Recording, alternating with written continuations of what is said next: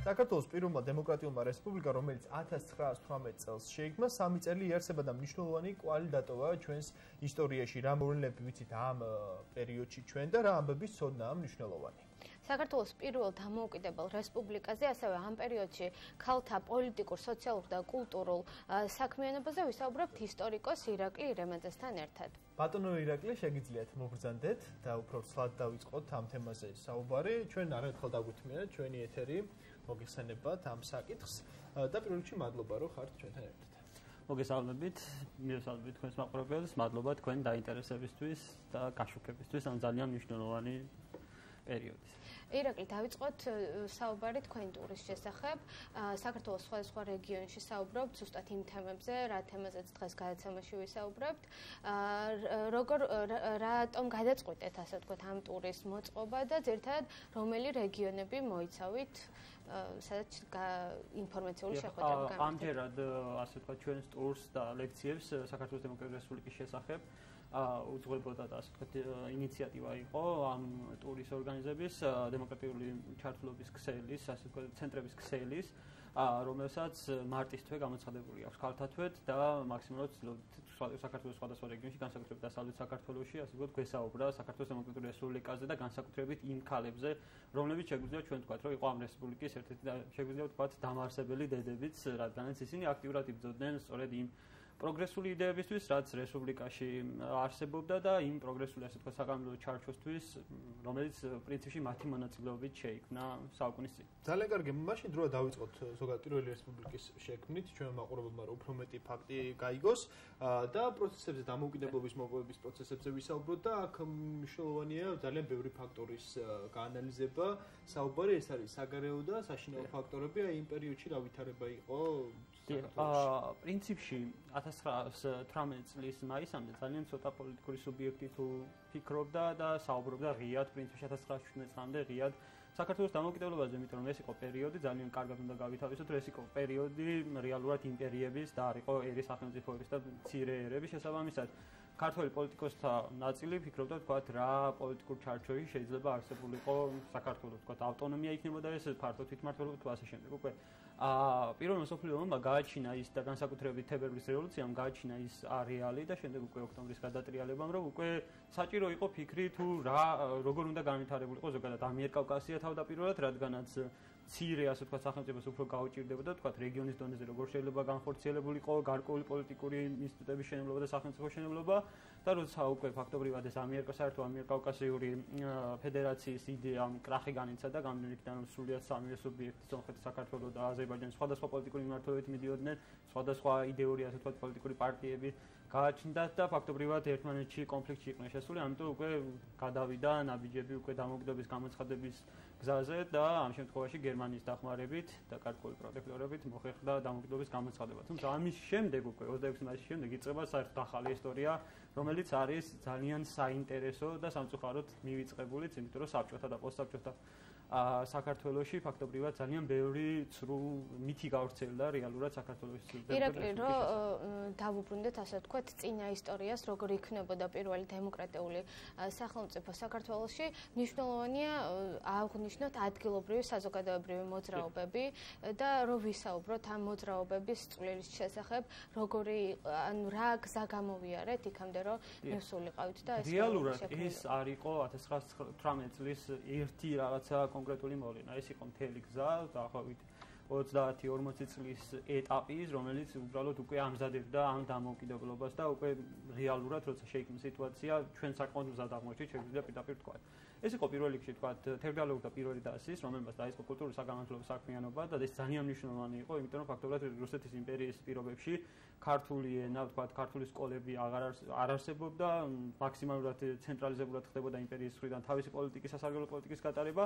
პირველ დას მოყვა შემდეგ მეორე დასი, რომელმაც შემოიტანა ქართულ საზოგადოებაში რეალურად სოციალური და პოლიტიკური აზროვნება ნიკო ნიკოლაძის ხელმძღვანელობით და შემდეგ ლოგიკური გაგრძელება იყო უკვე ამის პოლიტიკური ინსტიტუტად ქცევა, ანუ პარტიად და მოძრაობად ქცევა, რომელიც გაგზავნა უკვე მესამე დასად იგივე სოციალ-დემოკრატიული პარტია და რომელიც უკვე ბევრად ფართო სპექტრს მოიცავდა, ეს იყო თქვა ერთი საგანმანათლებლო სისტემის გარკვეული ჩარჩო, რადგანაც ეს სოციალ-დემოკრატები ძირითადად მასშტაბლები იყვნენ, ასევე სოციალური საკითხები, თანასწორობის საკითხი, პოლიტიკური თავისუფლების საკითხი, ქალთა და ზოგადად ასე თქვა ეთნიკური უმცირესობების და სხვა ჯგუფების თანასწორობის საკითხი და გარკვეული ინკლუზიური საზოგადოების იდეაც, რაც ფაქტობრივად 1917 წლამდე არსებობდა უკვე საქართველოში. დიახ, საინტერესოა, პირველი კონსტიტუციაზეც რომ ვისაუბროთ, თქვენ ჩამთვალეთ ადამიანებს, რომლებიც ამ პროცესებში იღებდნენ მონაწილეობას და იმის ყველა მიმართულება იყო ყურადსაღები. საინტერესო პირველი კონსტიტუცია რით იყო გამორჩეული იმ პერიოდში საქართველოსთვის? თქვენ ახსენეთ, რომ ძალიან განსაკვირი იყო ისიც, რომ იყო ძირთად დიდი სახელმწიფოები შეიძლება ითქვას და ეს პატარა სახელმწიფოს როგორ შეიძლება რომ ასეთი ტიპის დოკუმენტი მოემზადებინა იმ ვითარებაში. დიახ,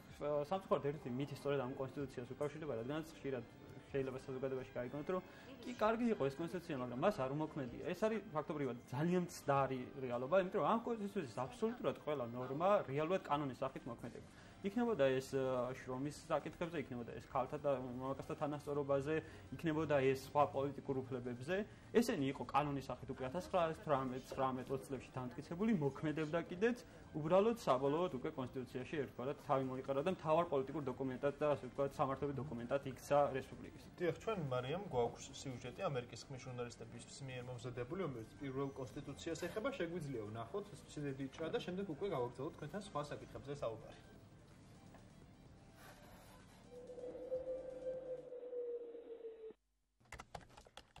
ქართველო ქალებო, იცოდეთ რომ ჩვენ გვმართებს დიდი თავგამოდება. დიდი მეცადინეობა რომ გავფანტოთ ის უღირსი, ჩვენი ზნეობრივად დამამცირებელი, ჩვენი ადამიანური ღირსების შემლახველი უგღმართობანი, რომელიც რუსის ბიუროკრატიამ ჩვენს ცხოვრებაში შემოიტანა. დღეს ჩვენ ყავს დროებითი მთავრობა, რომელიც პირდება ხალხს ადამიანისა და მოქალაქის უფლების აღდგენას. რომელიც იწევს დამფუძნებელ კრებას ახალი პოლიტიკური ცხოვრების მოსაწყობად. იქნება ეს არჩევნები განურჩევლად სქესთა თუ არა, ამაზე უმაღლესი დროებითი მთავრობა არას გვეუბნება. და ასეთი ჩვენი მდგომარეობა უეჭველად უნდა შეიცვალოს, რომ დღევანდელი მონური ცხოვრებიდან გამოვიდეთ. წინსვლა და ამაღლება ქართულ ხალხს. განურჩევლად სქესთა კატო მიქელაძემ სიტყვა 1917 წლის 20 მარტს ქუთაისში ქალთა საზოგადო კრებაზე წარმოთქვა და მოგვიანებით გაზეთში ხმა ქართველი ქალისა გამოქვეყნდა რომლის მთავარი რედაქტორი და გამომცემელიც თავად იყო. 1919 წელს დამფუძნებელი კრების დებულებაში მკაფიოდ დაიწერება. დამფუძნებელ კრების არჩევნებში მონაწილეობის უფლება აქვთ რესპუბლიკის ორივე სქესის მოქალაქედ თუმცა არჩევნების დღისთვის 19 წელი შეუსრულებით იმავე წელს დამფუძნებელი კრების არჩევნების შედეგებით საქართველოს უმაღლეს საკანონმდებლო ორგანოში ხუთი ქალი შევიდა. სამი მათგანის ხელმოწერა საქართველოს დამოუკიდებლობის აქცია. საქართველოს დამოუკიდებელი რესპუბლიკა თავის საზღვრებში თანასწორად უზრუნველყოფს ყველა მოქალაქის სამოქალაქო პოლიტიკურ უფლებას, განურჩევლად ეროვნებისა, სარწმუნოებისა, სოციალურ მდგომარეობისა და სქესისა. 1921 წლის 21 თებერვალს მიღებული საქართველოს კონსტიტუცია. მუხლი 39 ორივე სქესის მოქალაქე თანასწორია როგორც პოლიტიკური ისე სამოქალაქო ეკონომიკურ და საოჯახო უფლებით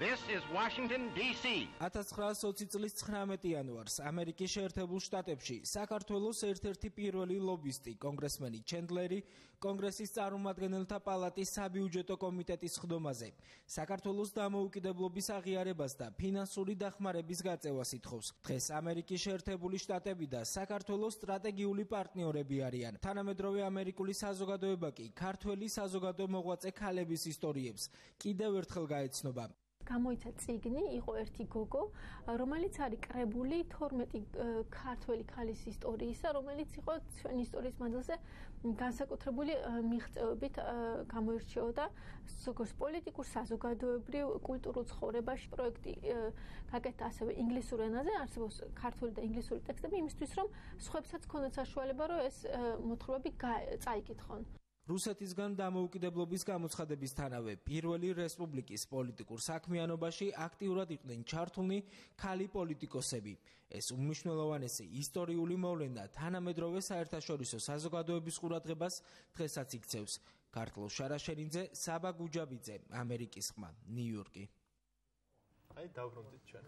ჩვენ აუცილებლად გავაგრძელებთ საუბარს ქალთა აქტივიზმის შესახებ, თუმცა მანამდე კონსტიტუციის შესახებ საუბრობდით და აი რომ გავაგრძელოთ ამ თემის შესახებ, გარკვეული ცვლილებები განხორციელდა ჩვენს კონსტიტუციაში და თქვენ როგორ შეადარებთ ძირითადად რა ცვლილებები არის და ძირითადად რაზეა დღესდღეობით აქცენტები გადატანილი სამწუხაროდ უნდა ვთქვათ რომ დღეს მიუხედავად იმისა რომ ჩვენ პრეამბულაში გვიწერია კონსტიტუციის რომ ეს კონსტიტუცია ემყარება 21 წლის კონსტიტუციის გარკვეულ ტრადიციებს შეგვიძლია ვთქვათ რომ იმ კონსტიტუციიდან ძალიან ცოტა რამ თუ არის აღებული ხშირად არც არის რაც შეეხება მიღების წესს, ну, ხშირად ამასაც პრინციპი ქილიკით ამბობენ, რომ კონსტიტუცია მიიღეს არბაზნების ხმის ქვეშ და თბილისში ვერც კი დაბეჭდეს და ეს იყო ნაჩქარევად მიღებული. ეს ასე ნამდვილად არ ყოფილა ორ წელწადნახევრის განმავლობაში კონსტიტუციის მიღებაზე მუშაობდა ძალიან დიდი ჯგუფი.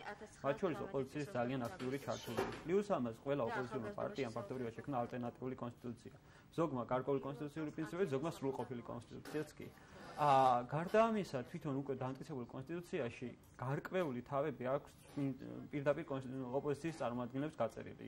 მოქალაქეობის შესახებ, ეთნიკური უმცირესობების შესახებ, რელიგიის შესახებ თავები მაგალითად გაწერილი არის, იმ სეკულარიზმის შესახებ თავები ოპოზიციური წარმომადგენლების მიერ.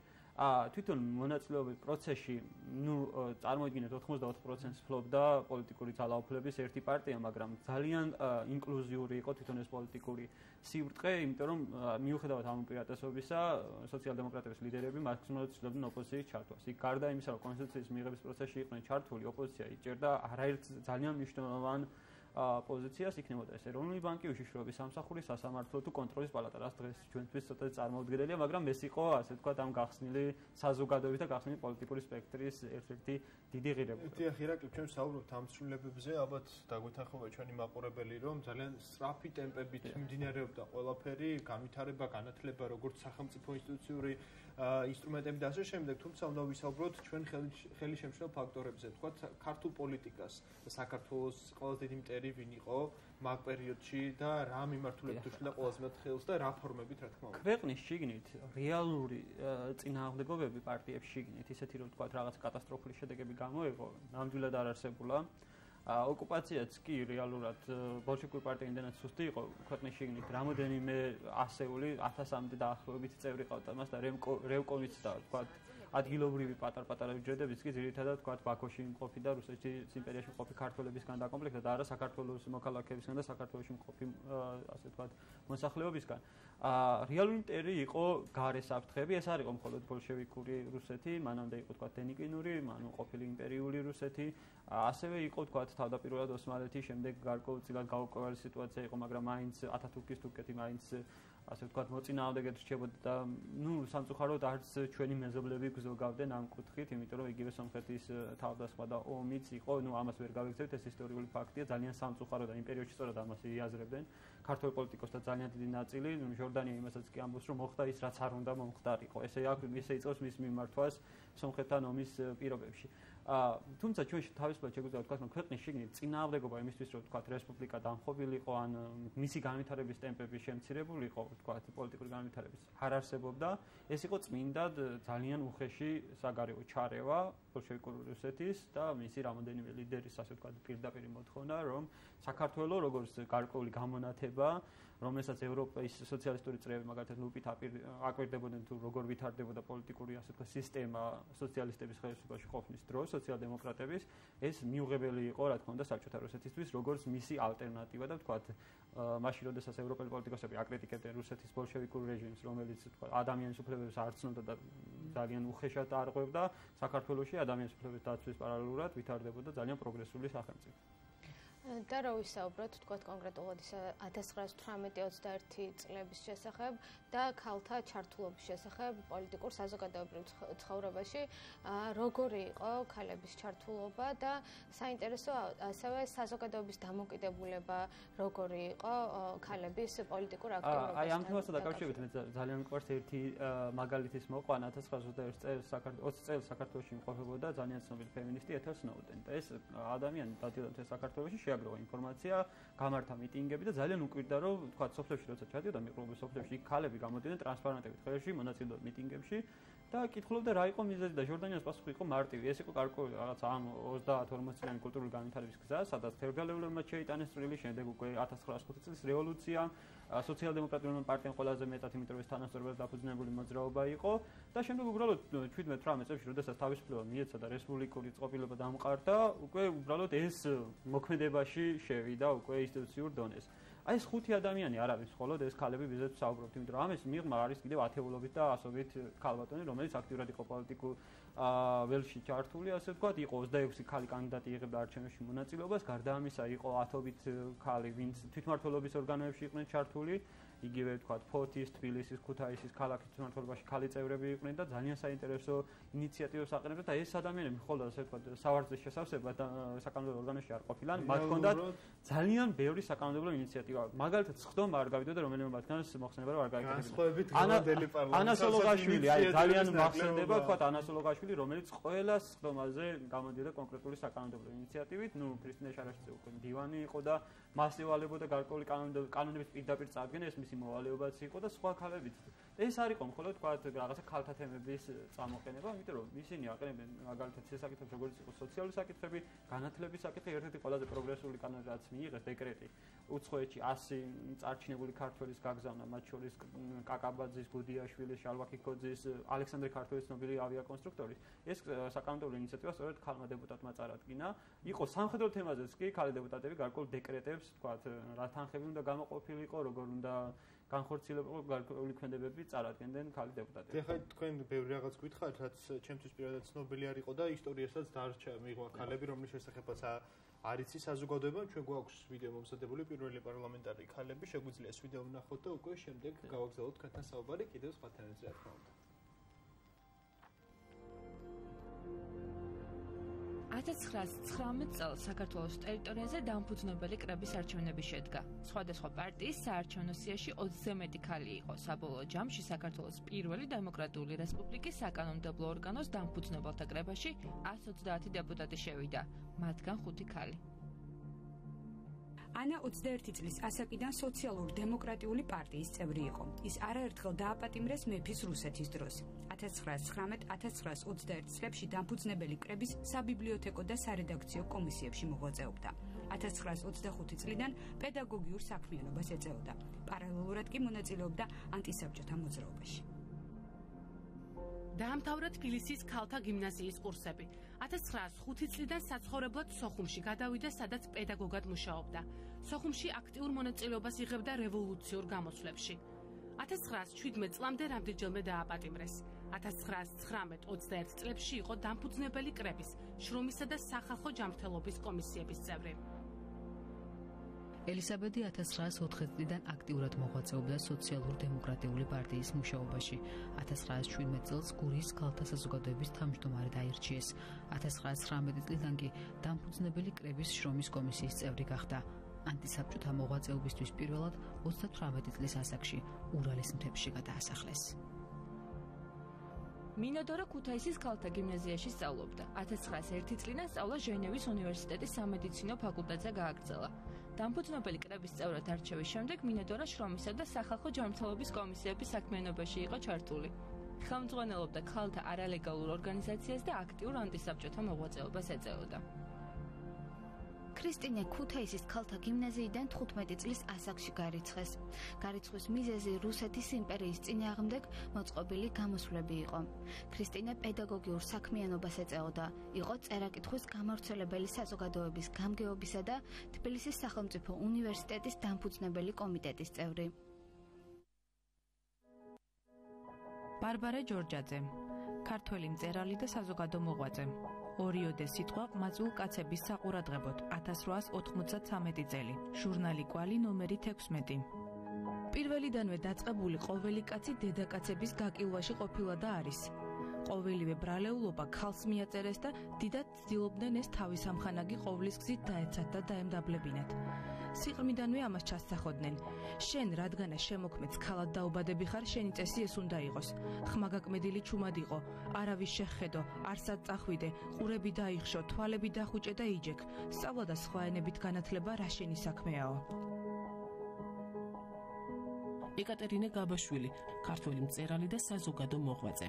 ბატონებო, უეჭველია ყველას მოგეხსენებათ, რომ მთელ ევროპაში ქალთა საკითხი სადღეისო კითხვად არის გადაქცეული და მთელი საზოგადოება გაფაციცებით ადევნებს თვალს, თუ როგორ გადაწყდება ეს უდიდესი კითხვა კაცთა ცხოვრებაში აღძრული. თვით ქალები, რასაკვირველია, ხელს უნდა უწყობდნენ ამ საქმეს და ამისთვის თითქმის ყველა ევროპის დედაქალაქებში პროგრამოშვებით იკრიბებიან ქალთა დელეგატები და შემზადებულის პროგრამებით არკვევენ და ამზადებენ ამ საკითხის გადაწყვეტის გამარჯვებას. ქართველი მწერალი და საზოგადო მოღვაწე ლიდია მეგრელიძე.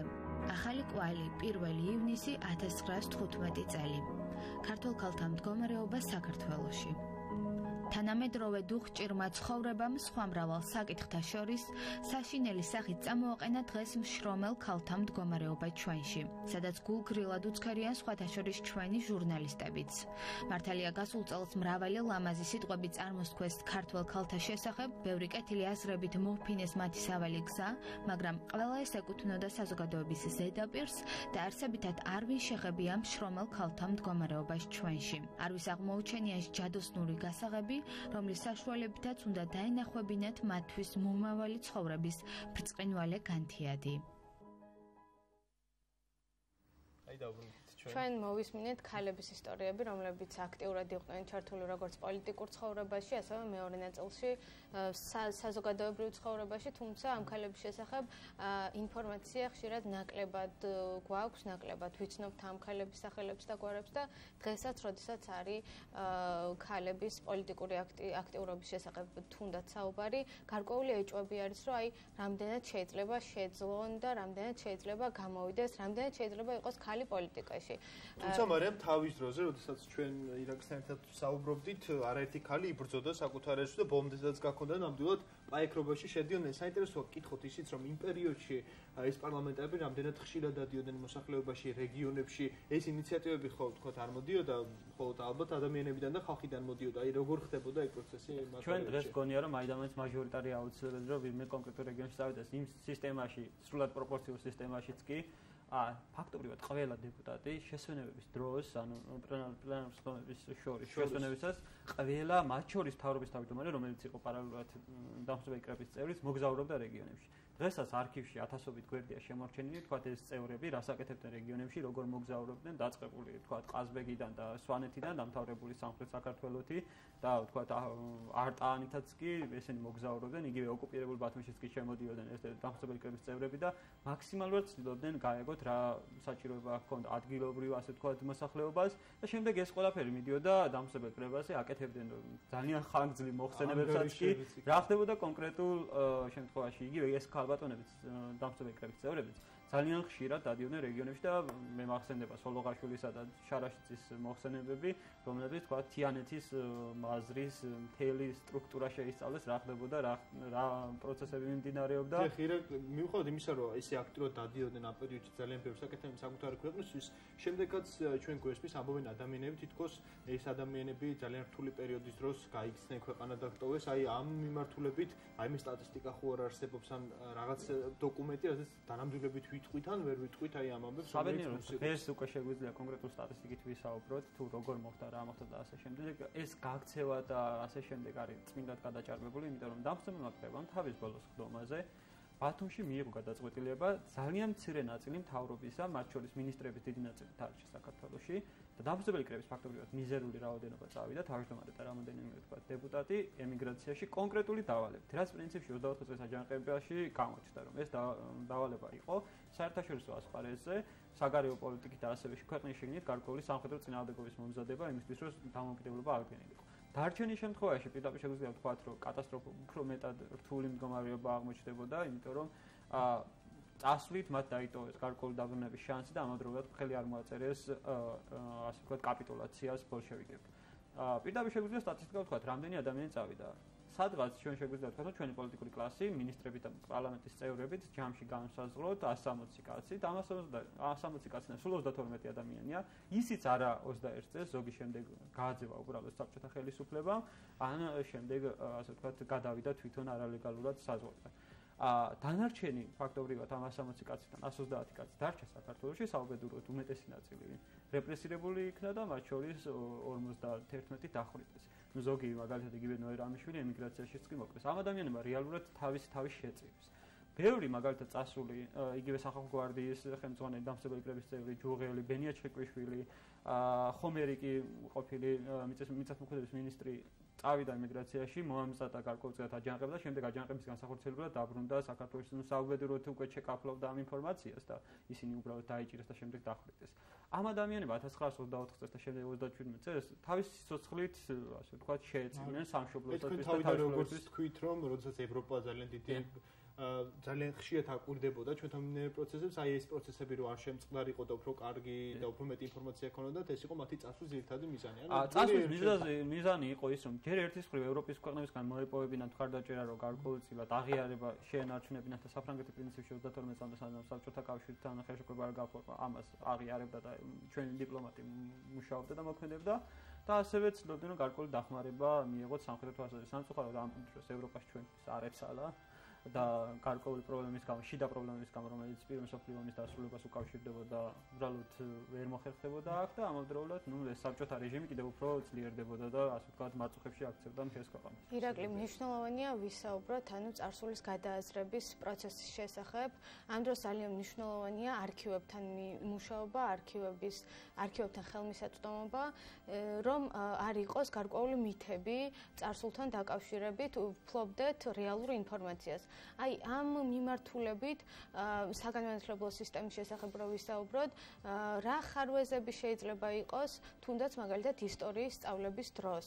რამდენად ღიაა არქივი ყველასთვის და რამდენად შეიძლება კონდეთ მასწავლებლებს ამის შესახებ ინფორმაცია. აი აქ არის ორივე მიმართულებით სწავლებისა და კვლევის მიმართულებითა სერიოზული პრობლემები და სერიოზული ჩავარდნები გვაქვს ამ საკანონმდებლო ჩართვას მიმართულებით არქივში. ნუ ეს არ ეხება ვთქვათ რესპუბლიკის ისტორიას პირდაპირ, ასე ვთქვათ, საარქივო კვლევისას, იმიტომ რომ არქივები რომელიც დახურული გვაქვს, ძირითადად ეს საბჭოთა პერიოდს მოიცავს და სამწუხაროდ დღესაც არ შეგვიძლია ვთქვათ ზუსტად ვისაუბროთ იმ ადამიანების რეპრესიის, განსაკუთრებით რეპრესირებულ და შემდეგ რეაბილიტირებულ ადამიანების შესახებ, იმიტომ რომ ეს ინფორმაცია ჩვენი საკანონმდებლო ბაზიდან გამომდინარე დახურულია. გარდა ამისა, ნუ გარკვეული ბარიერები არსებობს, იმიტომ რომ თქვა თუ ევროპული არქივები ძირითადად გაციფრულებულია და ჩვენ სახლიდან შეგვიძლია კვლევა იგივე მასშტაბებს მოსწავლეს თუ კვლევას სახლიდან ვიკვლიოთ, ჩვენთან ამის ფუფუნება ნაკლებად გვაქვს, ეხლა დაიწყეს, მაგრამ ეს არის ძალიან მცირე რაოდენობა და ბევრად სწრაფი ტემპი ფირდება იმისთვის, რომ თქვა მინიმუმ რაღაცა რაოდენობას მაინც მივაწიოთ, რომელიც ასე ვთქვათ გარკვეულ კონტურებს გამოკვეთავს ჩვენი ისტორიის. რაც შეეხება სწავლების პრობლემას, აქ უკვე ძალიან კატასტროფული მდგომარეობა გვაქვს, იმიტომ რომ უნივერსიტეტებში და სკოლებში ძალიან ასე ვთქვათ, მინიმუმ შეგვიძლია რბილად რო ვთქვათ, აა ცირედით ისწავლება ეს ყველაფერი. აა სკოლა სკოლის სახელმძღვანელოში რამდენი გაკვეთილია დათმობილი და ისიც ძალიან ზოგადი სახით. აა და ამ კუთხით რეალურად სახელმძღვანელოები გადამუშავება საჭიროებენ, იმიტომ ერთ-ერთი მთავარი, რაც აქცენტირება როდესაც უნდა მოახდინოს, ეს არის სწორედ ჩვენი უახლესი ისტორია, რომელიც ძალიან ბევრი მაგალითი დღესაც აქტუალურია ჩვენთან, იგივე ინსტიტუციების მშენებლობის თვალსაზრისით, იგივე ახალი თქვა, დამოკიდებელ სახელმწიფო როგორ უნდა განვითარდეს, ესეც გარკვეულწილად ჩვენ წარსულში გვაქვს ამის გამოსდება და ამის აღება შეიძლება. რა თქმა უნდა, ჩვენ მქონდა და უნდა ვიამაყოთ პირველი ოქროს ხანა, თქვა, შუა საუკუნეებში, მაგრამ ხშირად ამას ევროპელი და ქართველი მეცნიერებიც მეორე ოქროს ხანას სწორედ რესპუბლიკას ეძახიან და ძალიან კარგი იქნება, რომ ამის კვლევა და პოპულარიზაცია კვლავ გაგრძელდეს. დიახ, ირაკი ჩვენ ამ ბლოკში რამდენიმე წუთი გვაქვს დარჩენილი და ბოლო კითხვით გადმოვიდოდით თქვენთან წარსულის გახსენებაზე, გადააზრების მნიშვნელობაზე ჩვენ ვისაუბრეთ, თქვით ისტორიის შესწავლაზე, ძალიან ხშირად საუბრობენ ილუსტრაციის კანონის შესახებ. აი ამის შესახებაც რო ვისაუბროთ რამდენიმე სიტყვით და ამით დავასრულოთ ჩვენ საქართველოს ილუსტრაციის კანონი არის რეალურად კომპლექსური კანონი. აქ რაღაცა კონკრეტული მხოლოდ ამ სიების გასაჯაროებაზე არ არის, უბრალოდ ამაზე უნდა არსებობდეს პოლიტიკური ნება. პლუს ამას ჩვენთან არის მეორე პრობლემა, რაზეც ხშირად მიუთითებენ, რომ რეალური წყაროები, სრულყოფილი წყარო, რომელთა შეიძლება მოხდეს რუსოციის კანონიანების იმ ადამიანთა ზუსტი სიები, ვინ თანამშრომლობდა საბჭოთა სპეცსამსახურებთან და სხვა სამსახურებთან ასე და ასე შემდეგ, უბრალოდ 90-იან წლებში სამოქალაქო დაპირისპირების დროს თბილისში უბრალოდ განადგურდა. პლუს ამას სავარაუდოდ დიდი ნაწილი უბრალოდ გატანილი არის ასე ვთქვათ მოსკოვში თავის დროზე მაგრამ თავარი მაინც რჩება ის რომ არ არსებობს კონკრეტული პოლიტიკური ნება. ჩვენი კანონმდებლობა რაც შეიმუშავეს ვთქვათ იგივე წინამოწვევის პარლამენტებმა საბჭოთა რეჟიმის აღიარებასთან და ასე ვთქვათ მასთან თანამშრომლობ პირებთან გარკვეული ილუსტრაციასთან დაკავშირებით ძალიან არასისტემურია, პლუს ძალიან ნაკლოვანი და დღესაც მთავარი რაღაცით უნდა დავიწყოთ ეს ილუსტრაციის კანონის განხორციელება და ზოგადად ამ სპეცსამსახურებთან თანამშრომლობის საკითხების შესწავლა და გარკვეულწილად ის დანაკლისები რაც გვაქვს შესაძლებელია სხვაგან შევიცოთ და ნუ მე ალბათ ეს ბაზებიც გარკვეულწილად შეიძლება რომ თავი მოიყვანოს ამ ძალიან დიდი მადლობა ირაკლი მისთვის რომ მიყავით ჩვენი გადაცემის სტუმარი. ვისაუბრეთ ძალიან მნიშვნელოვან საკითხზე. თავის მხრივ გავიხსენეთ ისტორია რომელიც შეიძლება სამაგალითო იყოს თავდადებული რეალობისთვის. ვისაუბრეთ ქალების მნიშვნელობის შესახებ. რაც ჩვენი ქალების აქტივიზმის მნიშვნელობის შესახებ. აქტივისტის მნიშვნელობა. მადლობა მარიამ ჩვენი სტუმარი იყო ირაკლი რემაძე ისტორიკოსი. კიდევ ერთხელ ძალიან დიდი მადლობა